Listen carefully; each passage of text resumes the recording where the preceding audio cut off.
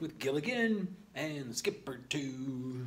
The millionaire and his wife, the movie star, Professor Anna Mary, and here on Gilligan's Island. I put the shirt on and I just started thinking about Gilligan's Island. So, had the song, man. It's classic. Classics, good stuff. All right, let's go. We are now entered into phase two out of our four phases of the course. Phase two starts out and goes into completely into forces. This is um, historically, been doing this a long time. I've been doing this since the 1920s. And I know that students in first semester uh, physics find forces to be one of the, if not the most difficult thing. So pay attention, all right? Pay attention, here we go. It starts out very simple, and you, you should feel good about yourself until later on we do the problem solving. But for now, let's dive in. Actually, we've already segued into this. We did the force of gravity, universal gravitation. That was part of the next unit, and I said that that will be a segue into the unit on forces because gravity is a force. And you might say to yourself, oh yeah, that's right, I remember that, doing force of gravity. Yeah, we figured some stuff out. Good, good, good. I'm glad you know. And remember, force, what is force? A force, be with you, okay? Mm Jedi mind powers. Mm, mm, mm. I am working on being a, a Jedi Knight. Okay, I think I've got it. Now, a force is any push or pull right, that causes something to accelerate. So if I push on something or I pull on something, or if there is a push, it doesn't have to be me. I mean, sort of gravity pulls on things. Uh, you can get uh, that. That's an attractive force. You can get repulsive forces. Okay, things pushing away, electrostatic forces, magnetic forces. So we have any force that can cause something to accelerate. That's what a force is. Okay, push or pull. That's pretty simple.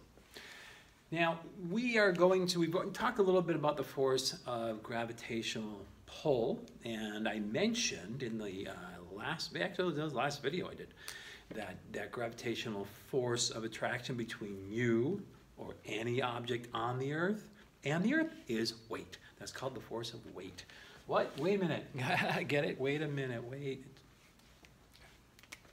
All right. So we used an equation and I did show this in the last video for weight. So there is a difference between weight and mass. There is. A lot of times we use the two words eh, analogously, like if we had a balance, you might say to your lab partner, yo, lab partner, could you please go and weigh this on the balance? Now, technically, you're not weighing something on the balance because the balance is, is measuring mass. It's measuring actually inertia and mass. But we say go weigh it. And we know what you're talking about, and nobody makes fun of you for that, and it's okay. But technically, there's a difference between weight and mass. And mass is part of the weight formula. So weight has to do with mass and gravity. And if you don't have any gravity pulling on something, mm, like a planet Earth or um, you know any other planet, then you don't have weight. There's no weight. So you can be weightless, it's possible, um, but you cannot be massless if you exist. So mass is an intrinsic property of something. Weight is the pull gravity on something. Um, I weighed about 100 and, well, too much actually, too much sitting around with not being in the classroom physically with my students. But, um, you know, gained a little weight in the last couple of months. So I now weigh about 198 pounds. So 198 pounds, um, hmm, that's my weight. Now, if I wanted to lose weight, I could either be more active, eat less, do both, or I can go to the moon. If I wanted to lose a lot of weight fast, I'll just get on some SpaceX rocket and head to the moon, and boom, I'm only weighing around 30 something pounds man, you had a sweet diet. You just lost 150 something pounds in one day. Yep, yep, yep, yep. You see, you and I both know that what you really want to do when you go on a diet is you lose mass. We don't say that, but you really are losing mass because weight, you want to lose weight, just go to the moon, okay? Just get in your car and drive there. Yeah, yeah, that's how you lose weight. So because we know that weight has something to do with gravity. All right, so they're not the same. But weight is a force. We can measure it in the terms of what are called newtons. And a newton Not a, it's not a lot of force, and it takes four newtons, a little more than four newtons equal one pound. And a pound isn't a lot of force. Okay, you know that. So we kind of discussed this, just to reiterate, go through it again. So weight, mass, not the same thing. Weight is a force. It's a pull uh, from the gravity of the Earth on you. Of course, my weight would be different if I went to the moon or Mars. All right, moving on from that, little review. What do we got on our list? Oh, we got our list. Here's our list of things that we're doing today, right here. All right, that's what we're doing. So we've got forces, force of weight, weight versus mass. Now we come to the big guy. The big guy, Newton. Already mentioned him, already mentioned that he was perhaps the smartest scientist in the history of scientists. Uh, and he did a lot of stuff. Universal gravitation, already went over that. He also did the following. Newton's laws of motion. Motion, it's an Italian word. Motion. Laws of motion. All right. So Newton uh, developed, well, he discovered, I mean, really, these laws of motion exist. We just don't think about them. And now what we do is when we discover them, we put them out there going, hey, this is what happens all the time. These are laws. And here are the three laws of motion. There are three of them that you need to know. Okay. Law number one, it's called the law of inertia. I'll just write inertia for short.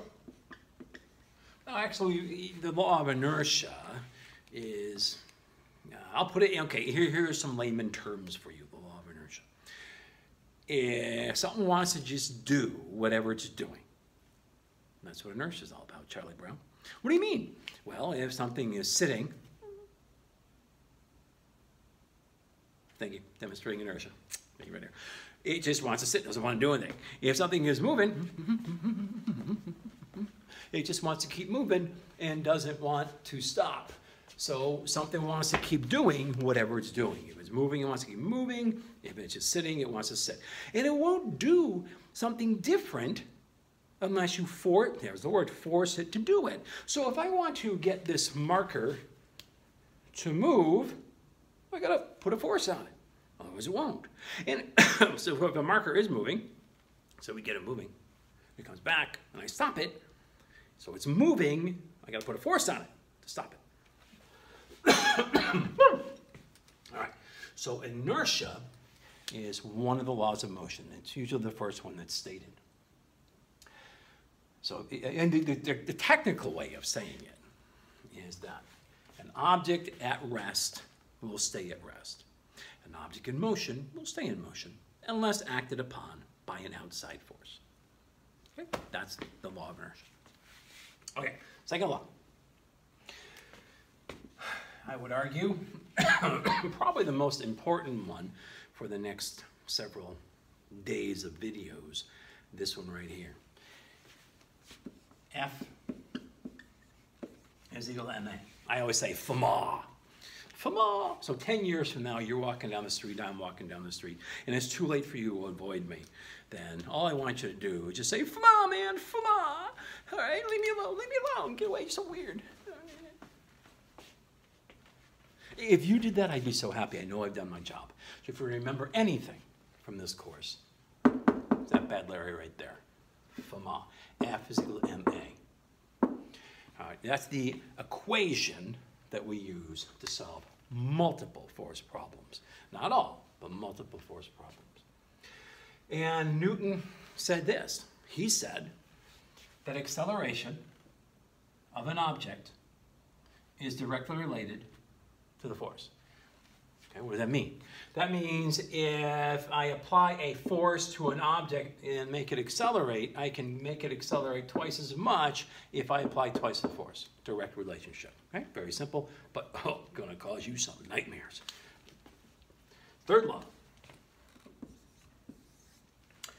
Action reaction. And most of you know this. If I were to start it, just like the law of conservation of mass. Most if I start that, most people already know. It. It's one of those things that's kind of easy to remember.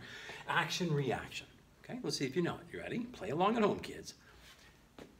For every action, there is correct and equal and opposite reaction. I like to say force. For I call it force, reforce. For every force, there's an equal and opposite reforce. I like to say that. okay? But we'll go action, reaction. So action slash reaction. All right, so basically what that says, now the, the, the way, you can memorize that and go, yeah, action, reaction, I remember that, I've heard it. For every force, there's an equal opposite force, or I react, equal opposite reaction, easy. But you will forget that in application of problems multiple times. And I gotta remind you of this one. So you know it, but do you really know it? Okay? So what that means is I push on you, you push on me. All right, I hit this wall, the wall hits me back. No, it doesn't. The wall doesn't have any fists to hit you back. See, you're already fighting it, even though you know how to say it.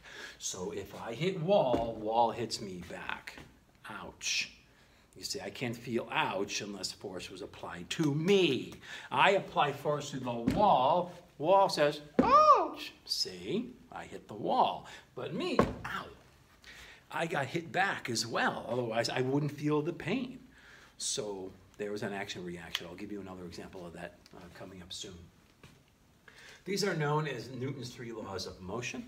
They're relatively simple, but the application of them, not so simple. All right, and we'll keep this video nice and short, just introducing laws of motion and applications coming at you soon.